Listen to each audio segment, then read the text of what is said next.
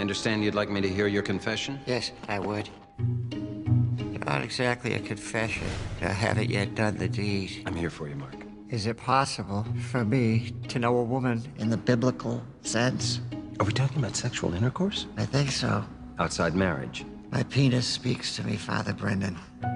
This therapist suggested I could work with a sex surrogate who would be sensitive to my unusual needs. In my heart, I feel like he'll give you a free pass on this one.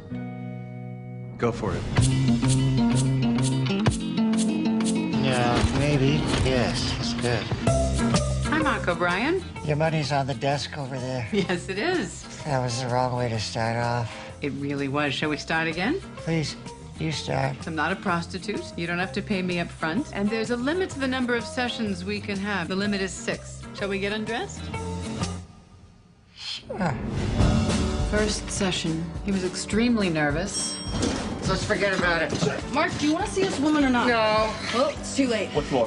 18th floor. What kind of therapist is she? She's a sex therapist. Today they're working on simultaneous orgasm. What's that? You're gonna start to listen to signals from your body. That way you'll be able to have some control. Oh, God. I understand even among non believers, the most common expression of sexual ecstasy is, oh God.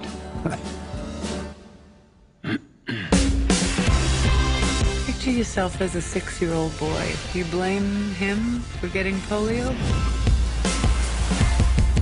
What is she like, Cheryl? She's the most wonderful person on the planet. I don't usually meet with clients outside of work. We don't have to do much talking. I just want people to say, hey, who's that gimp with that beautiful blonde? what happens when people become attached to each other?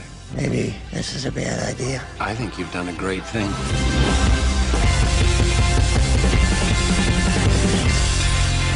She adores me, and I can get pretty kinky.